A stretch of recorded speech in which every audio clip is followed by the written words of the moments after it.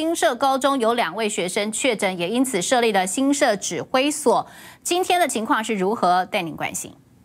四月八号，经过医院裁检是阳性确诊，他的父母也现在框列为居家隔离，裁检是阴性。那因为这位呃沙鹿国中的男学生二六七七九，他除了有回到学校去上课以外呢？他还有到两个补习班去补习，所以呢，沙鹿国中两个补习班的师生一共六十个人安排裁剪，裁剪的结果都是阴性啊，目前都是阴性。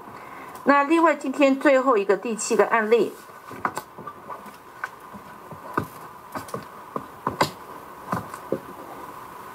二六七八零，她是三十多岁的丰原女性。她是我们前两天公布到花莲去旅游群聚确诊的二四八七零的姐姐，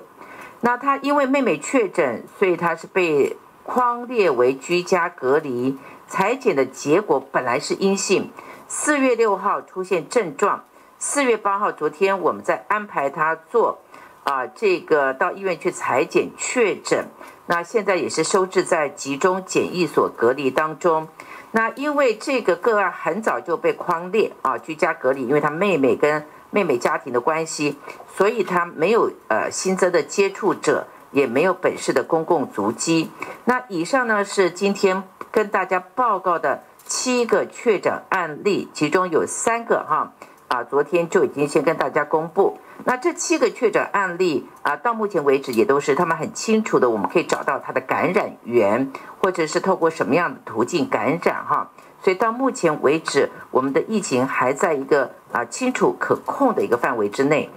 另外也跟大家再补充报告一下。因为昨天有一个，前两天有个家庭，就是因为有北部的确诊住在他们家里面，那这个家庭里面孩子们比较多，有四个小孩，再加上亲亲戚的朋友也住在隔壁哈，也来家里玩，那一共有六七个小朋友，所以昨天呢，这六七个小朋友分读在四个学校，都是以新社地区为范围，那也因此呢，我们特别慎重。那在第一时间就处理这个疫情危机，全力围堵疫情。所以我昨天呢，就只是在新社高新社地区成立前进指挥所。那我们是否调派了七十四个同仁进驻这个前进指挥所啊，展开全面的筛检、处理疫情、防堵疫情？那昨天一整天的动员哈，我们继续工作。那从昨天中午开始进行筛检。一共筛了一千四百四十五人，其中有一千三百八十五人是采取快筛，全部都是阴性，包括他的教职员跟学生。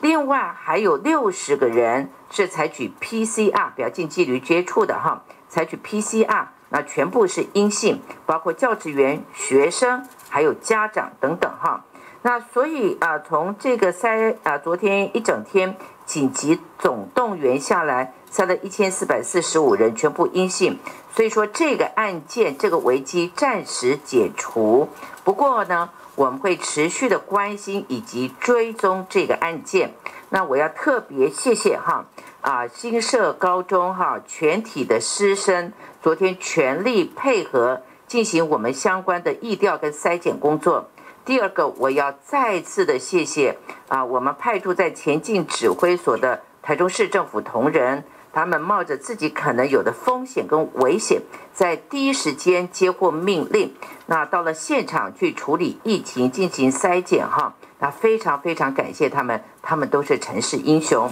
台中在今天新增的有七例的感染。